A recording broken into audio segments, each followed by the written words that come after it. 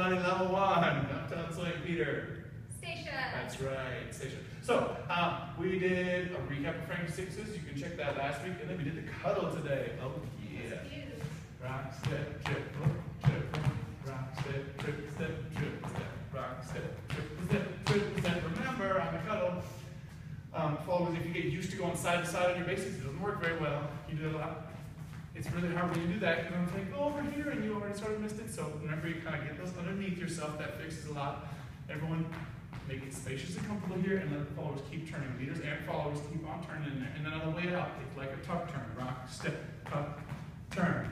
You can stay in there for a basic or two, maximum three. After that, you're officially a weirdo, so get out of there. And we tried today a little reverse. So we went rock, step, triple step, reverse. Triple step, rock, triple step, reverse. On the reverse, we just do a rock step on the other foot. Triple step, rock step, triple step, just to mix it up. And then we did the sneak.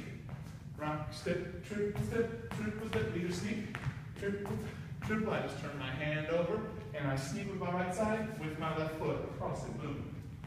Rock, step, triple, triple. And then we also did change your hands. You just get here somehow.